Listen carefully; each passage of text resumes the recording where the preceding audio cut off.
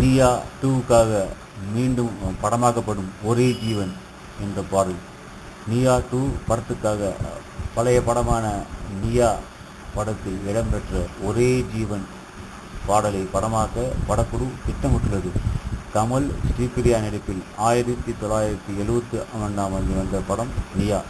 இதன் இரண்டாம் பாகம் முப்பத்தி ஒன்பது ஆண்டுகளுக்கு பிறகு நியா இரண்டு என்ற பெரிய புதிய பரிமாணத்தில் தயாராகிறது.